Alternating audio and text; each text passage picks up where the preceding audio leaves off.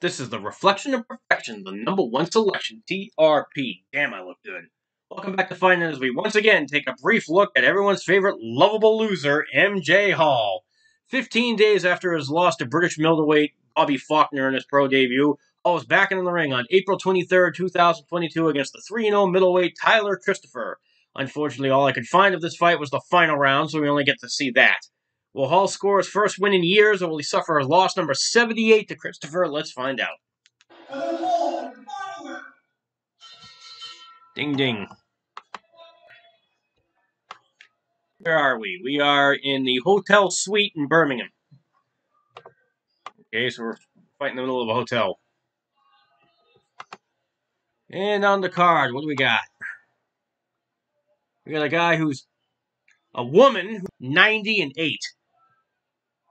And then we got another guy who's 12 and 73. A guy who's 0 and 8. Jesus. 20 and 90. Slovakia.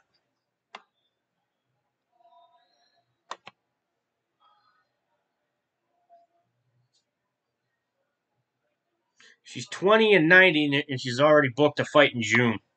Gotta love it. All right, anyways, fourth and final round of we got MJ Hall swinging and missing.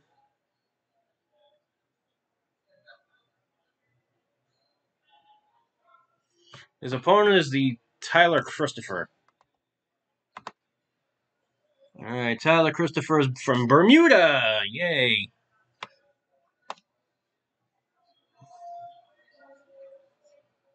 Apparently, he likes to fight in this venue.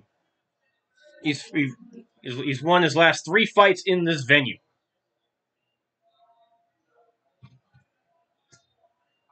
And they're all ju- he beat of all the guys he's beaten.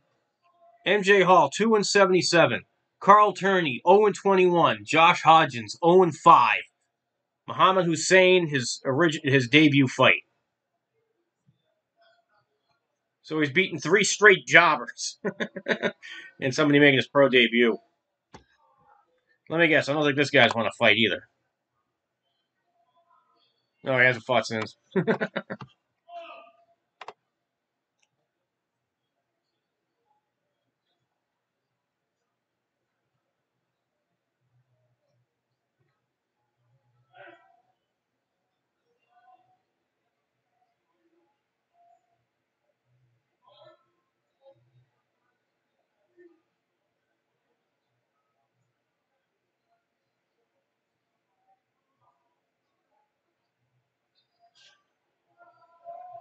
Once again, he's not doing anything to win, just trying not to get knocked out.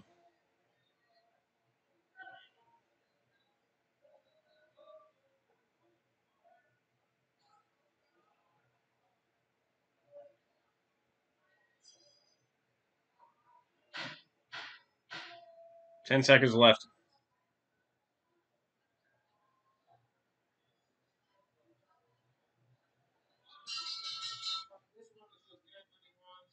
What the fuck? Okay, so we just go, we just cut right to an interview with Tyler Christopher. That's wonderful. Okay, so we're gonna cut right there, and in case you haven't figured it out, uh, Christopher wins. you got to feel for someone like Hall who fights whoever he can, whenever he can, every few weeks to earn a paycheck. He's only 30 years old, so it's not like he can just anywhere.